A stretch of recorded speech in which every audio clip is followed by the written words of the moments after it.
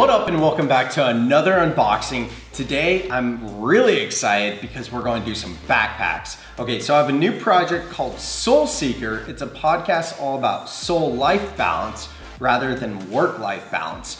So, you know, since it's a podcast I'm going to have guests, thought it'd be cool to get some backpacks in to give the guests, you know, as they're going on adventures and whatnot. So anyways, here's the box. Super excited to check these out.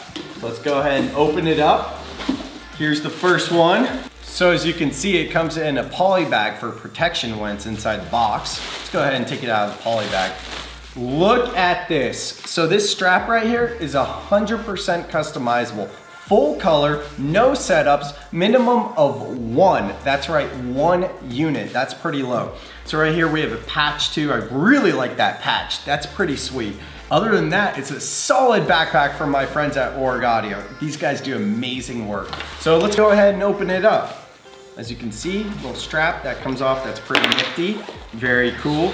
Inside pocket right here. One of the things I like is you have this little netting, you know, you can keep little things in there. Um, and then over here, look at that, just opens straight up. And you have some other compartments. You know, for me, it's really like an all-purpose bag adventure bag, a soul-seeking backpack. So if you guys want information on this backpack or sample of this, a sample of anything, quote, ideas, anything at all, go ahead and hit me up on the link below. Thanks again for watching and subscribe so you never miss an episode. I'll see you next time.